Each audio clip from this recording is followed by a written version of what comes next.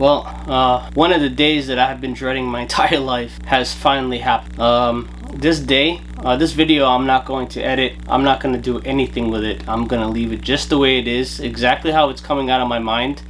10 minutes after I heard the news. So basically, this morning I dropped, I got up, I went to go get, I went to go drop off my car after they came back to the mechanic and to get an inspection sticker. Uh, I walked in the door after I dropped a load of laundry in the washing machine and my phone rang and I saw on the caller ID that it was my father's ex-girlfriend. Uh, the first thing when I picked up the phone is I says, hi, she goes, I'm sorry to call you. I says, let me guess, my father died. And she said, yes, I'm sorry. I says, yeah, I've been expecting that phone call for a little while now.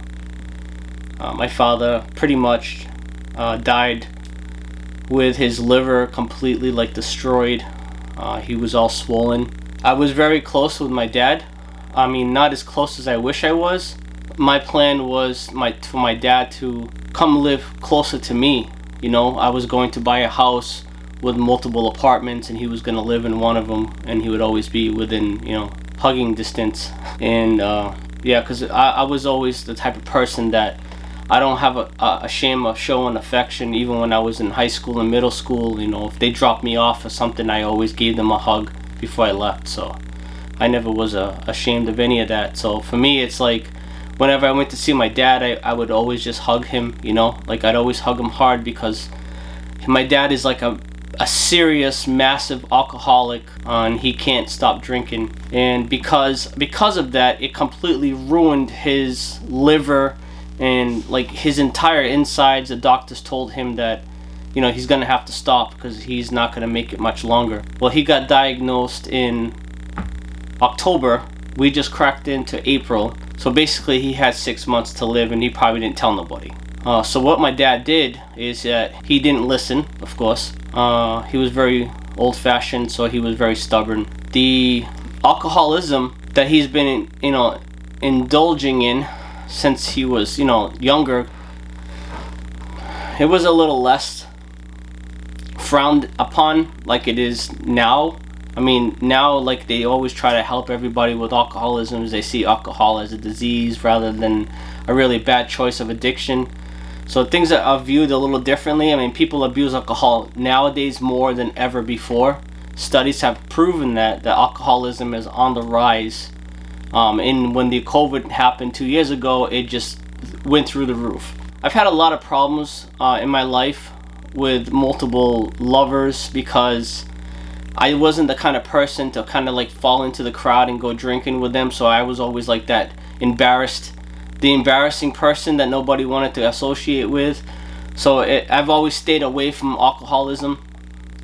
So because of that, it's because I've seen what it does to families. I've seen what it does to people, how it changes them, and people can do whatever they want. And it's a shame that I, I lost my my my friend, my dad, uh, the last parent that I have that I love, and and all I can say is that I, I wish I wish I had another day with him. Uh, do do I wish I knew that this was gonna happen? Then have a day with him? Definitely not. It's not the same when you say goodbye. You know, every time I left my dad's house, I would always look at him as I was driving because I always had a feeling that was going to be the last time I was going to see him. Because his alcoholism was at that point where it was just uncontrollable, you know? Every time, you know?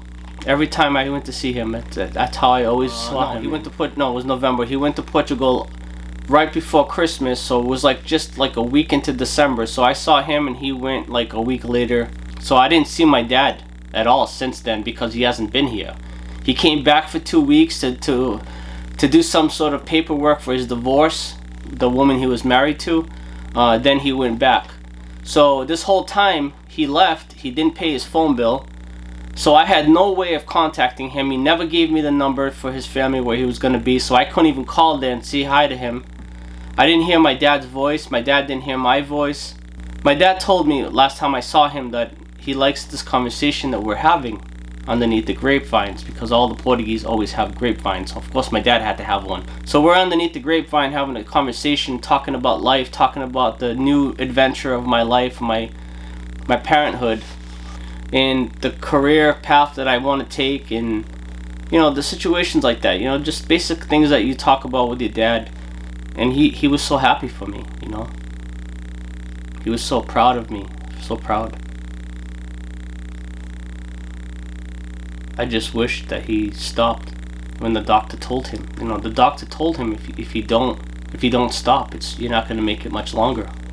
Did the doctor tell him if you don't stop, you're not going to make it past six months? Did the doctor tell him anything like that? I don't know because my dad was was the kind of person he he lied a lot.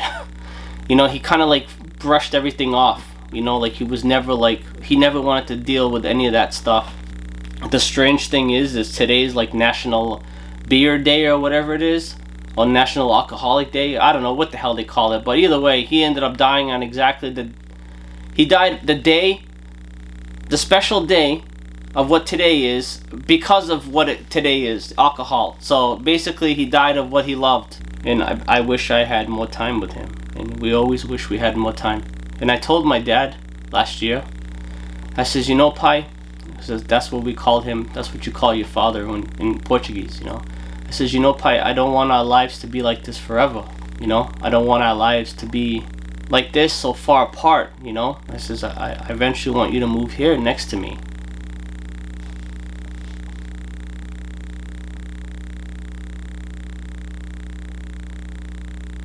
He didn't really say anything. And that's so weird because, like, when she told me he died, I knew he died when she called me. I had a feeling that's why she called me. But when she finally said it, like uh, my heart felt, like I, I felt my heart drop. My dad was like a mom to me too. You know, he was like my, my mother. I used to call him on Mother's Day because he was my mom too. He was he was a terrible father. There was some moments where he actually tried, which is good, you know. But I know he loved us, and I know he loved me. You know i just don't know. I don't know i don't know what what to feel you know? Like i was so close to my dad but i wasn't close enough. You know the way you're supposed to be with parents i wasn't. And now that he's gone i have all these things in my mind that i wish i did differently. And i knew in my mind that i wasn't the perfect son. I just wish i was a little bit better and now my dad's gone and i can't I don't I, I can't see him now because he's going to be buried in Portugal. They're going to cremate him. They can't send his ashes over. My dad's gone forever. At least if I had my dad's ashes, I could at least go see him. So he went to Portugal. He eventually went to rehab because they talked him into it because he got so bad that they they basically had to force him there and you know he they told him they they released him I guess my phone, my dad's uh, ex-girlfriend told me. They released him because he was so bad that they couldn't do anything for him. He was already so far at the tipping point and eventually his body just gave out and he died. You know, I, I'm very surprised that I'm not crying. I mean, I can feel, I can feel like the pain inside and how much I miss him. But I'm surprised that I'm not like falling apart is what I'm saying. Like, cause I love my dad like so much. I've told people so many times, you know, if something like that happened to my dad, you guys wouldn't see me for a month. I think it's because I've been prepared. Especially since I talked to him last. I kind of been prepared because I know he was been drinking a lot more than usual. You know, he was he used to smoke two packs of cigarettes a day. And it's it's so weird. It's so weird how these things happen because I remember uh, a couple days ago, I was I was in here in my room here. I was doing some stuff, some editing, and I caught myself for a moment in silence, you know, like days before this happened. For some reason, I was doing something, and I was started thinking about my dad, like how I used to walk into the kitchen when I was little. This is before my parents got divorced. I was probably like 12, 11. And my dad always had a habit of smoking in the house uh, before people were educated about how bad that is for you. And he would always smoke in front of the kitchen window he would just lean to the side, lean on the counter, smoking a cigarette, looking outside. the kitchen window to the garden. And I remember sitting with my dad underneath the grapevine when I was little. And uh, he would be he would be there smoking, drinking a beer. And then I'd have my little bunny like in the cage there, like my dad Hamadi used to get when I used to break into the garage when he was at work. Because the garage had the two garage doors and there used to be a little way to move it and I used to just jiggle it just enough to open it because my dad always had a lot of tools and I always like to go in the garage and mess around with his tools. But I have to tell you guys, like, it, it hurts. It hurts a lot. I really, I'm telling you right now, if if I didn't if I if I didn't talk to my dad a few months ago, I I think I would have felt so guilty. my dad says, "I hope this isn't the last time we have these this type of conversation together. You know, being serious." And I says, "It doesn't have to be. it really doesn't, because most of the time when I go over there, he's drunk. Like he's completely just trashed. He doesn't know what is going on. He repeats himself all the time. And he, he just basically I'm there and he doesn't even he doesn't even like comprehend anything that I'm saying to him. He's so far gone. He's like slurring his words. He's got one eye this way, one eye that way. I mean, he's just completely wasted.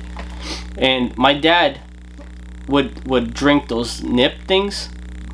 I don't even know if that's the way you say it, but he used to drink those things just to help pro help uh, speed up the drunk process. You know, so that's what he used to do. And uh, he was never like that when I was when I was little. Never. He never did that stuff. I don't know why all of a sudden he got into it. So he'd be drinking, he'd do the nips. It just because it would it would it would accelerate the process of being drunk and that's the feeling he obviously wanted. I don't even think he did it for taste because when you see people's faces when they do that stuff, they just they look like they're about to die. I remember the first time my dad ever went out with me, ever. My my dad never went anywhere with me alone ever okay one day we lived together i was 16 years old or 15 my dad went to the mall with me and he went in this polyester blue suit these fancy shoes and smelling like cheap cologne to the mall with me and I still did the whole time with him. No matter how ridiculous he looked, I was there beside him because I looked ridiculous too. So it's kind of crappy look the way I looked back then. So I never forget it. I never forget the day that I first saw my dad cry. I was living with him um, in Taunton, Massachusetts. And I remember when I started living with him, this is after I left foster care. Uh, my dad, he was like, he was so mad because the when I he he agreed to let me live with him, but the thing is, is that he the landlord, the person that was renting, he was renting from, increased the rent by a hundred dollars a month because now he's got me there. So my dad was so mad about the hundred dollars, and my dad was like very active. You know, my dad was a good worker, always working hard. You know, my dad did 70 plus hours a week when we were little to support us, you know. And I remember they uh, eventually he he just he didn't keep up with the agreements from the foster care, social workers, and things like that you know, they used to come over my house uninvited all the time to just check on stuff. And uh, they checked the milk like it was expired. It was like practically cheese now. There was no food in the refrigerator. She would open the cabinets and of course she'd find a bottle of alcohol in there. Uh, my dad had beer in the fridge, you know, so I never forget that the first time I ever saw my dad cry. And he was so sad when they pulled me away. They came to the house to get me on completely without anybody knowing. She came over there with two cops or two people, I don't remember, it was so long ago. And they took me away from him again. and he was crying saying, give me another chance. You know, my dad was already freshly divorced. So he was just going crazy with women. So all he cared about was being out every night picking up women. And uh, I, it, that, that, that feeling that sound of his tears and his voice cracking up from it. It was just, it's something that's been in my mind for for forever. But man, my dad was so so devastated. Frisbee. My dad used to play frisbee with me. We never, I don't know why it was frisbee. I, I mean, most parents play baseball because I still think it's kind of strange. Frisbee out of all things, you know? We used to play frisbee a lot. I think he used to get those frisbees from his job. They used to brand it and then just give them out to people to be like kind of like a cheap way of um, advertising. Uh, and then my dad used to always play frisbee with me when I was little. I was so good, man. We were like the aim was perfect, the catching was perfect. And that's one thing that me and my dad always did was play frisbee. You know, my dad never built stuff with me. You know, my dad was like he worked a lot, you know, so plus I don't think he knew how to be like that. You know, he definitely got so much better as time went on. You know what I mean? He definitely got better, I have to say. And it wasn't financially, it was just he he grew up, he matured, he realized that running around with women is only going to be fun for a while. Eventually, you're going to want to lay down with somebody and be there with them for the rest of your life. And I knew it was going to happen. And I kept telling myself, don't worry, you got till he's 80 at least. He'll be fine till he's 80.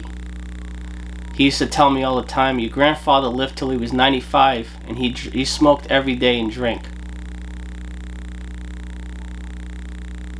So I was kind of hoping that was going to work out for him too.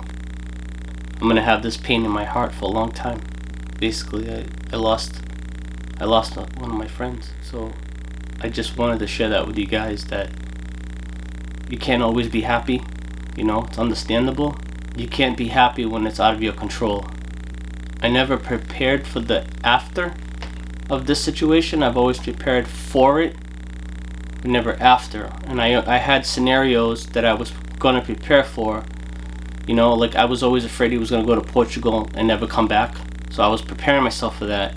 And then I was always afraid that something was going to happen to him in Portugal and I'd never get to see him again. Yeah, the pain is there, man. The pain is there. So I just wanted to say, please, hug your parents because you, you really don't know when it's going to take them. You really don't know.